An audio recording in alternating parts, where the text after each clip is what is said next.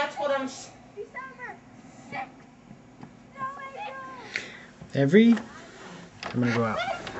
Every year, every year for the last four out of the last five years, it's been on December 4th, 5th, or 6th that it snows for the first time.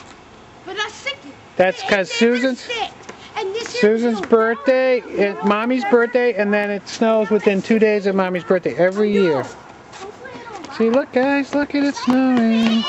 It's stirring. I'm getting it's getting all over the it's getting all over the lens of the car. Oh, yeah, good point. The mulch is covered with snow. You're right. Look at that. It's already sticking. Look at that. It's already white. Yay. And look at all the Christmas lights just came on. Everybody's decorated their house. We'll take some more pictures later.